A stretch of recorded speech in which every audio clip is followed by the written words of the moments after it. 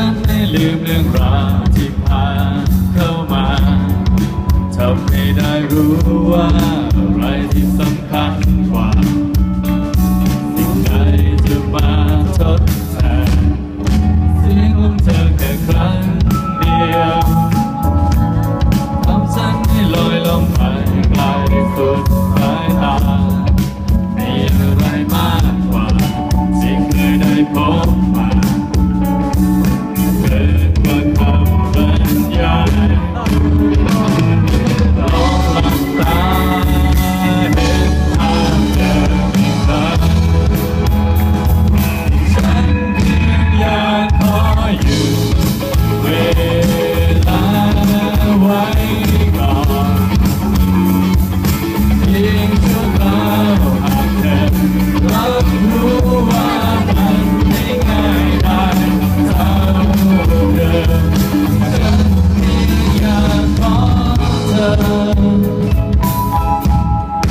ยิ้มของเธอแค่ครั้งเดียว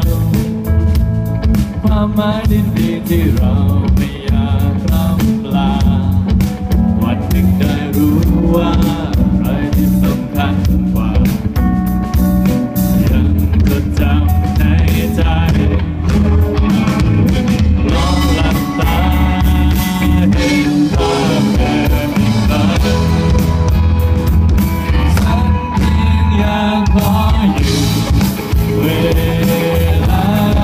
survive